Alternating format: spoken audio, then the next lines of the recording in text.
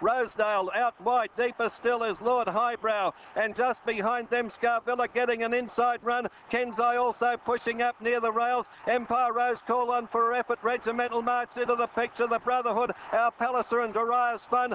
300 metres to go. And it's Belciano fighting it out with Empire Rose. Agent Provocative Kensei and Rosedale. It's Empire Rose, Kensei, Agent Provocative and Rosedale. Kensei a narrow leader. Kensei Laurie Olsen going home best. Kensei wins from Empire Rose. Rosedale third. Fourth, Belciano. They were followed by the Brotherhood, Cossack Warrior, Agent Provocative, Bo Trist, Darius Fun, and then came behind them King Matthias, followed by Regimental March Cossack Warrior, and then came our Palliser, followed by Scarvilla, Peckham, Magas, Like a Topic, Rising Fair Lord, Highbrow, Kill Rocking Daddy, and then Royal Heights and Argonaut Style and south of Belmont at the Rio.